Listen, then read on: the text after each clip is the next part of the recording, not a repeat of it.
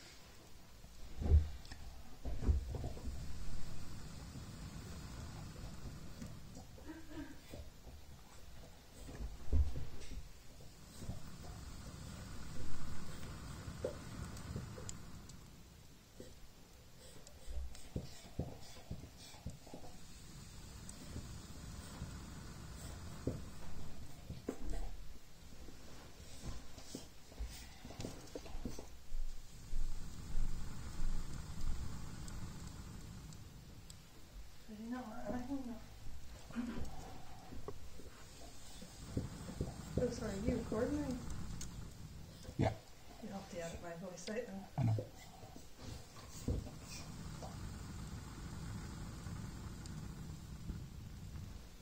Hey, fire!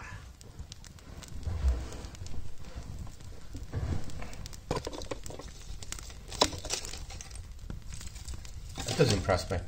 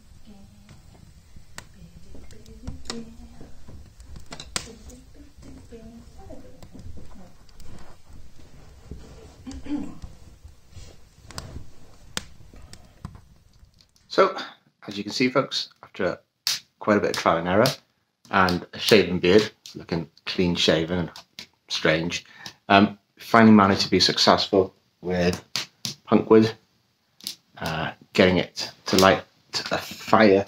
So actually, I have it in the tin here. Looks like that.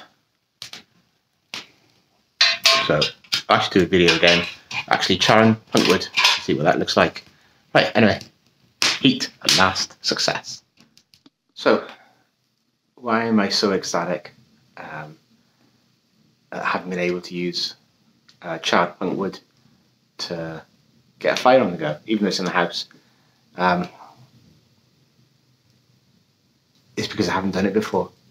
So it's that feeling of success, of doing something for the first time, of figuring how to make charred punkwood, of not using too hot a flame or not enough heat or letting it burn in the tin. Um, lots of mistakes, lots of things gone wrong, finally being successful. Charred punkwood, and all I've had is just shaved timber or shaved logs. Just used something like this, use a knife just to cut um, slithers of wood to take, make tinder, put on the fire with a punk wood, and just blow on the ember to turn it into a fire, and then to build that fire up into what I have at the moment. And it is, it's just that feeling of just being successful, doing something for the first time. So obviously, the progression from this is to do this outside um, with charred Punkwood out in the forest somewhere. Um, so that's going to be my next challenge.